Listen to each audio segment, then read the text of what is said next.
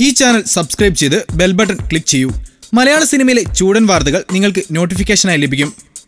ചക്കപ്പഴത്തിന്റെ വിജയം ഉപ്പും മുളകും നിർത്തുന്നു. ഒടുവിൽ തുറന്നു പറഞ്ഞ് ശ്രീകണ്ഠൻ നായർ. ജനപ്രിയ ടെലിവിഷൻ പരമ്പരയാണ് ഉപ്പും മുളകും. മലയാളികൾക്ക് വളരെ പ്രിയങ്കരമായ കുടുംബമാണ് ഉപ്പും മുളകിന്റെ നീലിമയുടെയും ബാലചന്ദ്രന്റെയും കുടുംബം.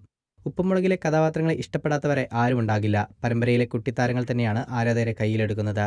ഈ കുടുംബത്തെ കാണാത്തവരും ഇഷ്ടപ്പെടാത്തവരും ചുരുക്കമാണ്. ഇവരുടെ വീട്ടിലെ വിശേഷങ്ങളും കാഴ്ചകളും ഒക്കെ ആയിരുന്നു ഇതുവരെ പ്രേക്ഷകർ കണ്ടിരുന്നത്.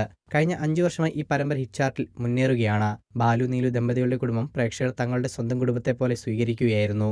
എന്നാൽ ഈ പരമ്പര ഇല്ല എന്ന രീതിയിൽ സോഷ്യൽ മീഡിയയിൽ കഴിഞ്ഞ കുറച്ച് ദിവസമായി ചർച്ചകൾ നടക്കുകയാണ്. ചാനലിൽ പുതിയ പരമ്പരയായ ചക്കപ്പഴം ആരംഭിച്ചതോടെ ഉപ്പുമുളകും അവസാനിച്ചു എന്ന തരത്തിലുള്ള ചർച്ചകൾ സജീവമാണ്. ഇതിന് മറുപടി നൽകുകയാണ് ഇപ്പോൾ ശ്രീകണ്ഠൻ നായർ. ഉപ്പുമുളകിനെക്കുറിച്ചും ആരാധകരുടെ സംശയങ്ങൾക്ക് മോർണിംഗ് ഷോയിലായിരുന്നു അദ്ദേഹത്തിന്റെ മറുപടി. ഉപ്പുമുളകും ഞങ്ങളുടെ പ്രസ്റ്റീജിയസ് പരിപാടിയാണ്. അതുകൊണ്ട് തന്നെ ഉപ്പുമുളകും നിർത്തുന്ന പ്രശ്നമില്ല. ചക്കപ്പഴം കണ്ടിട്ടാണ് നിങ്ങൾ ചിന്തിക്കുന്നതെങ്കിൽ അത് തെറ്റാണ്. മലയാള ടെലിവിഷൻ ചരിത്രത്തിൽ മാറ്റം കൊണ്ടുവന്ന പരിപാടിയാണ്. അത് അങ്ങനെയൊന്നും നിർത്തുന്ന പ്രശ്നമില്ലെന്നും ശ്രീകണ്ഠൻ നായർ പറഞ്ഞു.